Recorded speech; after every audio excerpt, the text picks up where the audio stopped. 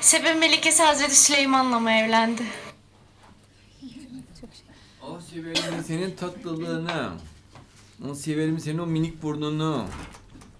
Her şeyin çok güzel. Kaş, göz, ağız, burun.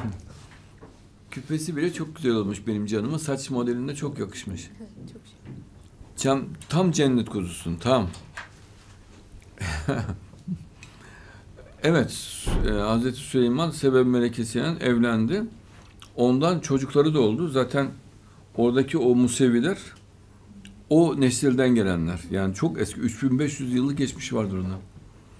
Sebe Melikesi'nin çocukları onlar. Yani o Müslüman Musevi olanlar. Habeşistan'da. Habeşistan'da Musevi'nin ne işi var? Çok uzak bir yer. o devirden kalma Museviler. Sebe Melikesi'nin torununun torununun torununun torununun torunu. Çok eski silsile olarak oraya gidiyor.